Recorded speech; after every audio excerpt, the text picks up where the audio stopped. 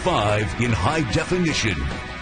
The next time you find yourself wide awake in the middle of the night, consider this. There are worse things than not being able to sleep, as one upstate woman found out. As a matter of fact, Donna Jolly's bout with sleeplessness saved 15 lives, including her own. News 4's Tim Waller spoke with her today and joined us with this incredible story. Tim? Michael, all this happened on Kiawah Island where the Jollies were attending a wedding. 15 family members were packed into a rental house, fast asleep. Thank goodness Donna Jolly woke up when she did. If you ask John and Donna Jolly what they're thankful for this holiday season, I'm thankful for, to still be here along with my wife. they'll tell you they're thankful they survived a fire and that Donna is sleep challenged. I'm thankful for my hot flashes.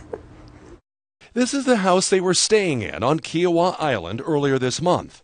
Fifteen people asleep inside, except for Donna, who explains it this way. I've always been hot natured, very hot natured, and um, so when a room is very warm, it, it bothers me. That night, it saved everyone's life as fire from the chimney made its way into the walls. I looked out the window and I saw the smoke and I said, oh my gosh.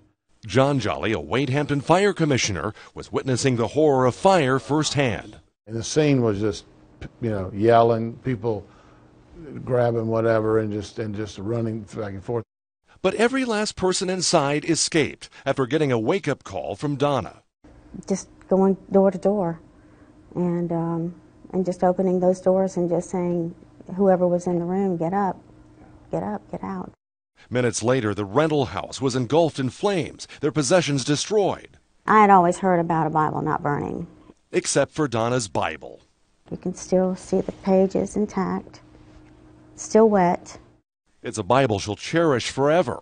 It's burned, eh, but it's still His Word. And both Jolly say they'll cherish the second chance they've been given after a very close call, thanks to a sleepless night. I was uh, lucky to have uh, this little lady with me. Jollies are also very thankful for the quick response from the local firefighters down there. Now, the house they were renting, a $4 million home at Kiawah Island Golf Resort, was destroyed. The exact cause of the fire is under investigation. Michael? Remarkable.